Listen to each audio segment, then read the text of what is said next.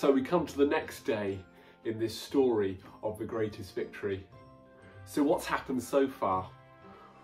Well, Jesus entered into Jerusalem victorious. They all celebrated, thinking this is the moment, this is the man who's going to lead us to victory, who's going to be a great political ruler. But as we see, things are starting to turn. Dare one say it, the tide has turned. Yesterday we thought about how he entered into the temple courts, upturned the tables that were around him, said, Why have you turned my father's house into a den of robbers?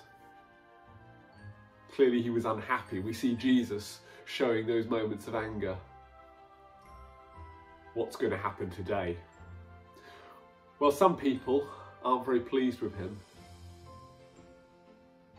Some people are looking for a way to get rid of him. They're already planning how they can do that. They begin to challenge his authority today. They don't like a lot of his teaching. It makes them uncomfortable. And therefore, they want to challenge him. They don't want him to take away their status. Many people start to become less happy with him, concerned about what he's trying to do.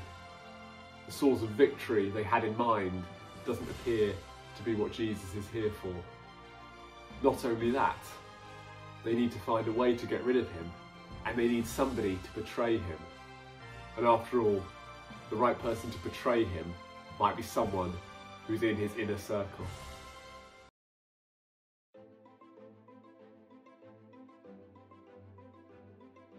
Jesus entered the temple courts. People questioned his authority.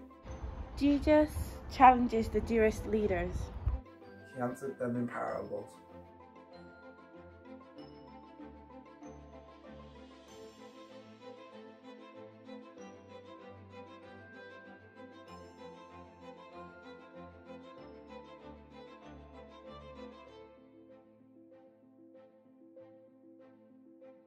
They continued to question him.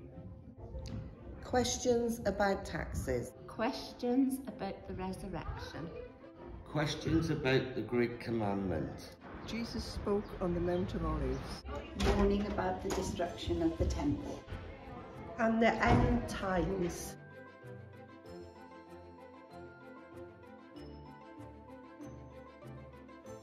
Then Satan entered Judas, called Iscariot, one of the twelve. And Judas went to the chief priests and the officers of the temple guard and discussed with them how he might betray Jesus. They were delighted and agreed to give him money. He consented and watched for an opportunity to hand Jesus over to them when no crowd was present. They've challenged his authority. They don't like some of the answers that he's come up with. And so they need someone to betray him. And they go to Judas, one of the disciples, one of Jesus' close friends, one who was close to him.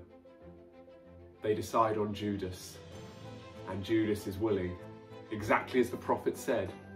They agreed to give him money, 30 pieces of silver, so that he would betray Jesus. As we see things taking shape here, we see their desire to get rid of him. They don't like his teaching, and they're finding out a way they can do so. We can see their plan beginning to unfold.